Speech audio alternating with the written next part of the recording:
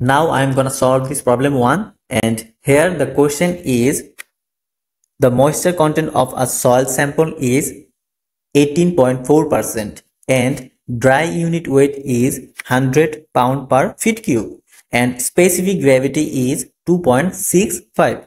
Okay, given that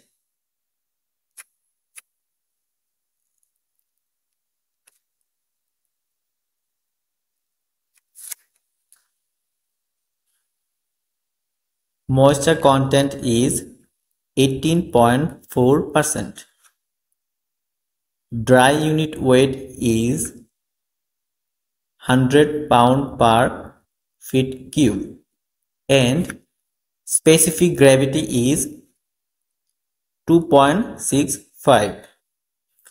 Okay, the question is calculate the degree of saturation. We know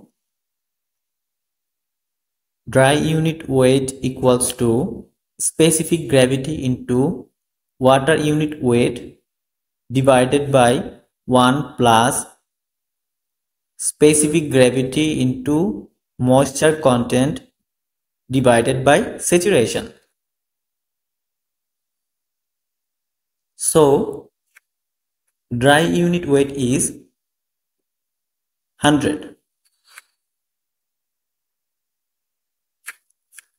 specific gravity is 2.65 and water unit weight for pound per feet cube 62.4 1 plus moisture content is 18.4 percent over saturation. So saturation will 0.746 or 74.6%.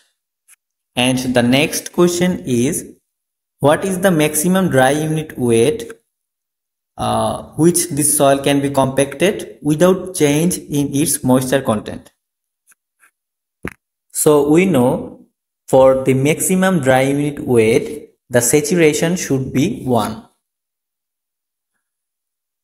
for maximum dry unit weight saturation is equals to 1 and the question is find maximum dry unit weight.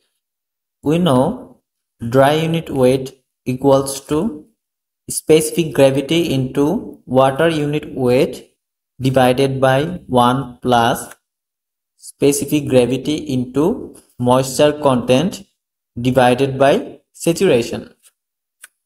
Here specific gravity is 2.65 and water unit weight is for pound per feet cube 62.4 and moisture content is 18.4% divided by saturation is 100% or only 1. Now we get the maximum dry unit weight is